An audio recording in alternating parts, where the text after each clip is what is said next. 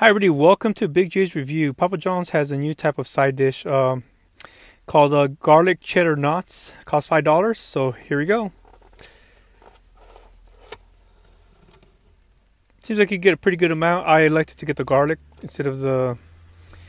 I think. Uh, oh wow! Look at that! Look how. See that? it still has some of that sauce instead of the marinara sauce.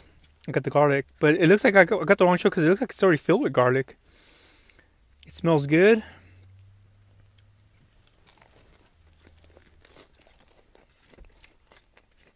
Mmm, I'm in heaven. Just came out of the oven. Soft. A good amount of that garlic sauce. I made a mistake. I shouldn't have got this. Plenty of garlic on there. Uh, good amount of cheese. Mmm. Definitely worth getting. I definitely buy this again. I'm gonna give this um it's really good, but I don't think it's as good. Look at that. Nice and doughy.